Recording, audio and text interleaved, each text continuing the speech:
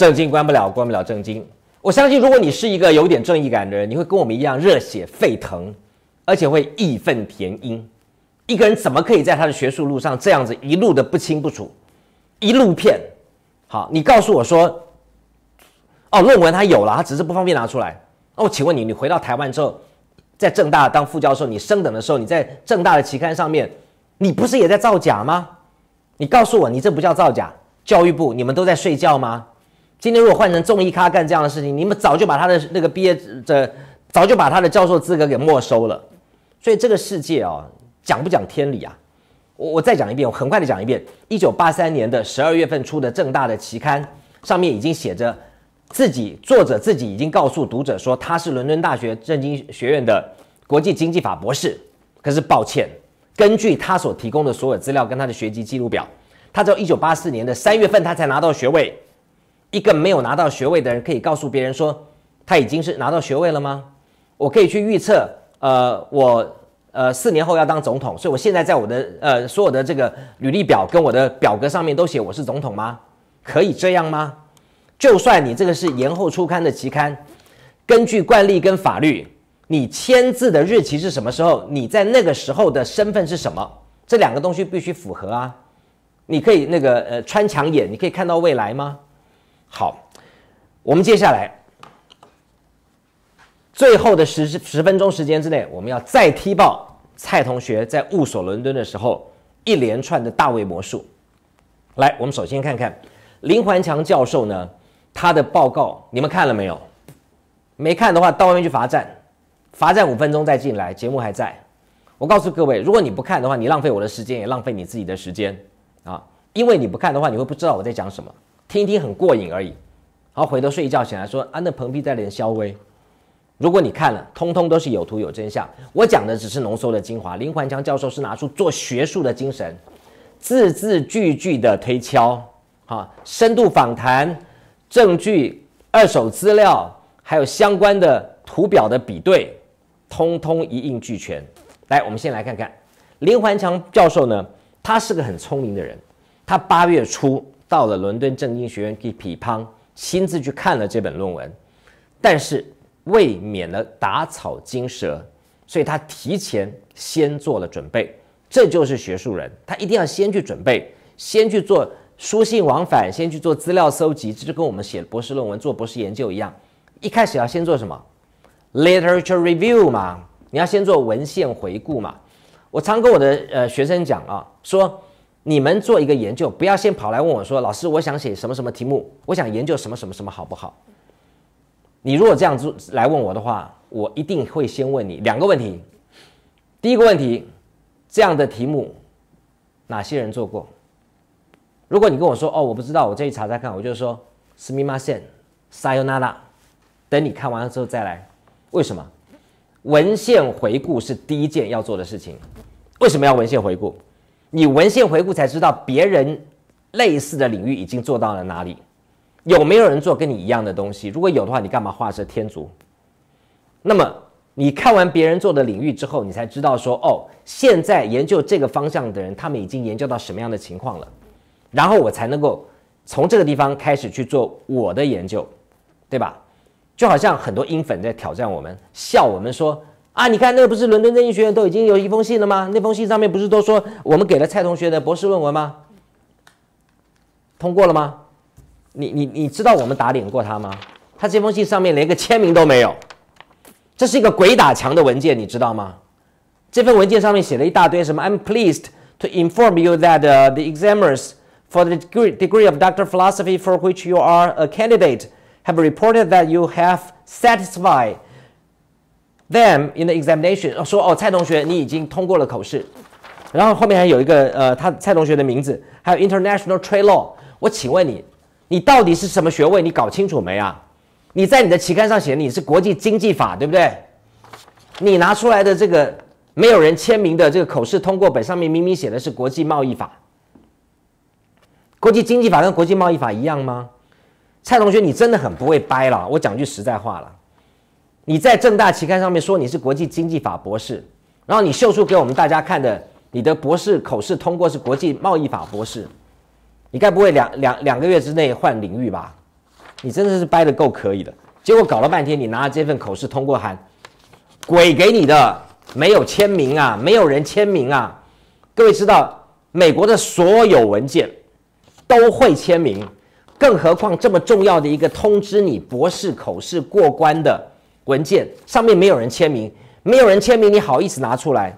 臭西郎啊！你的口试通过函，没有人背书，为什么没有人背书？蔡同学，我体谅你。真的没有人背书，因为你根本没有指导老师啊！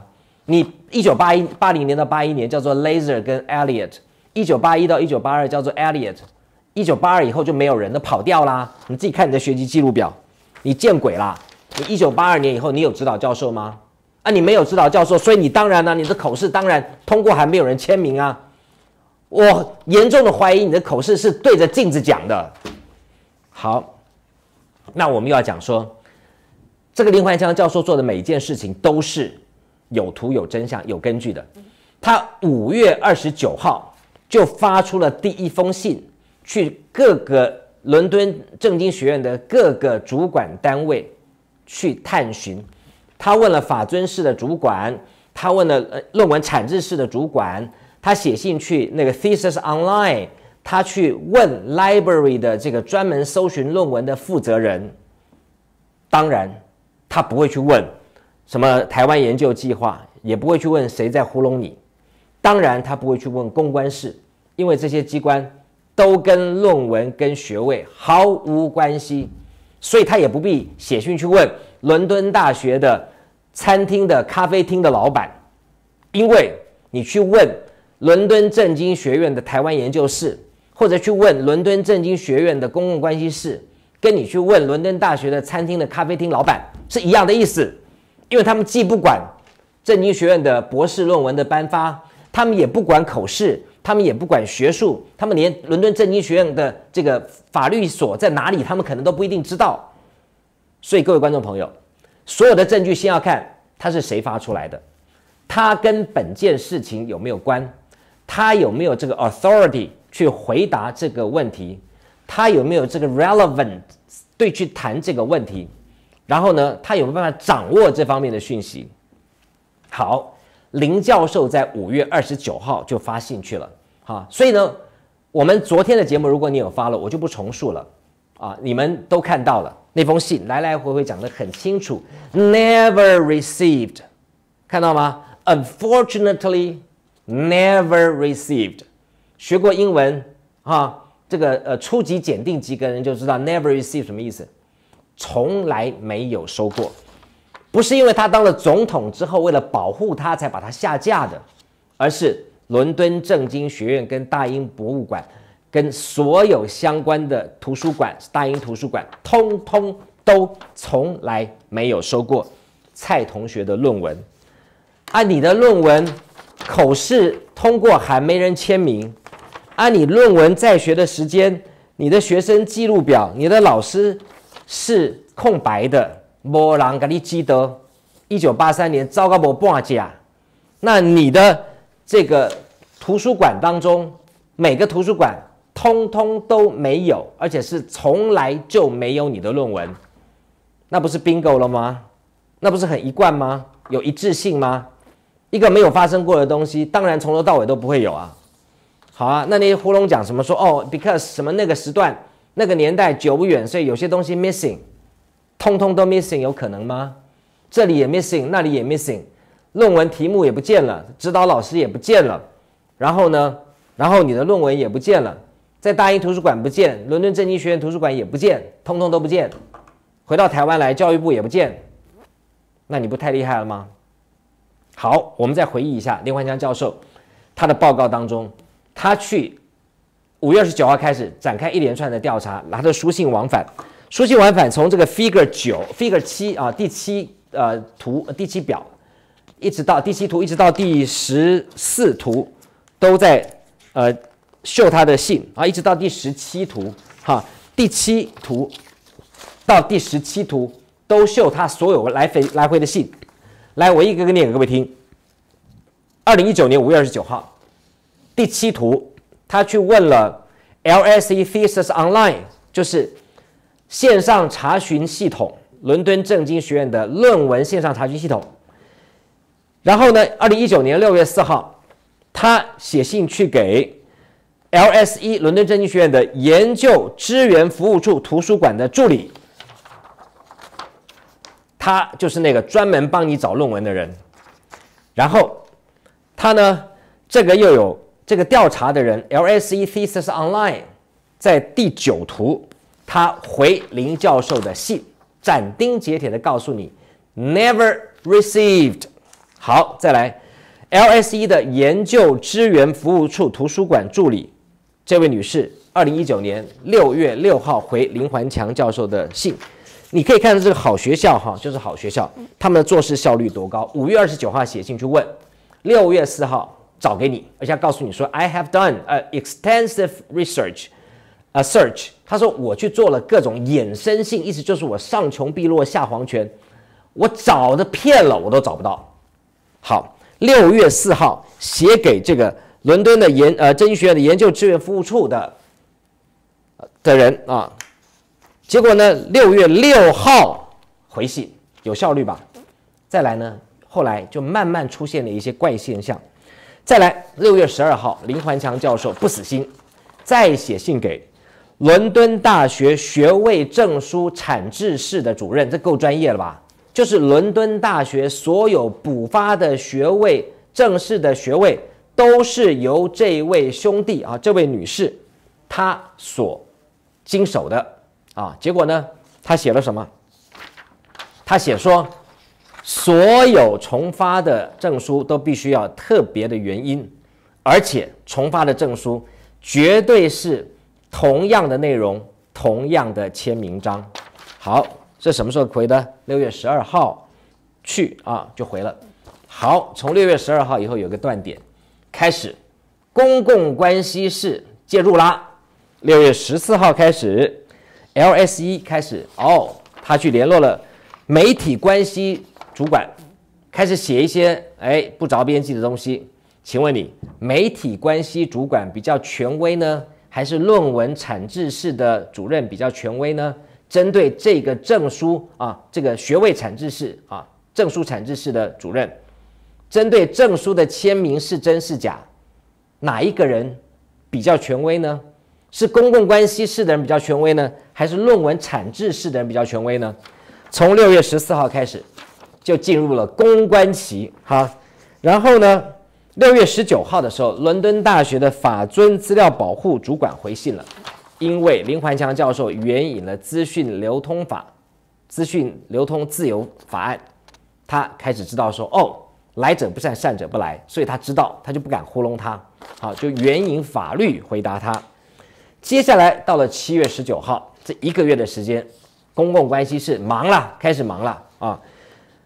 伦敦大学对外关系的副主任开始写一些擦脂抹粉的东西啊，那这些人将来都会成我们的被告。啊，因为他呢，代乎职守，在他的职务上面去写了跟，呃，这个主管机关不一样的东西，开始有点转弯了，开始要称呼 Doctor 蔡了。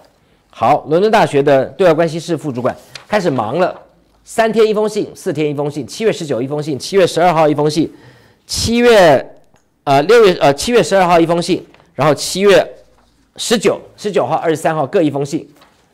好，最后呢？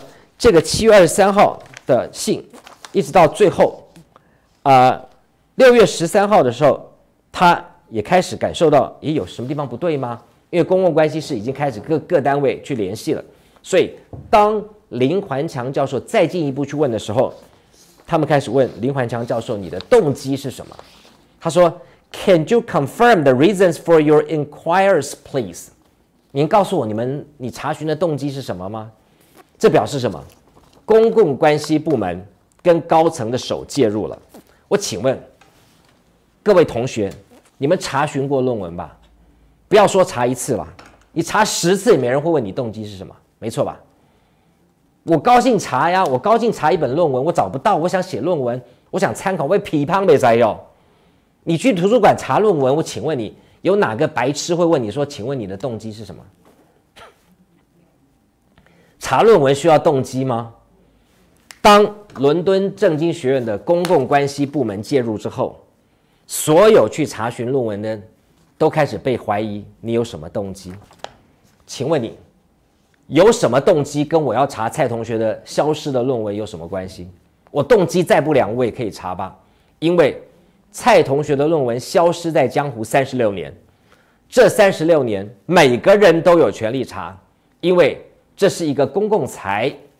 我在节目当中也援引过，你如果你有什么专利啦、特殊的原因要保护，至多两年，而且要非常清楚的证据证明。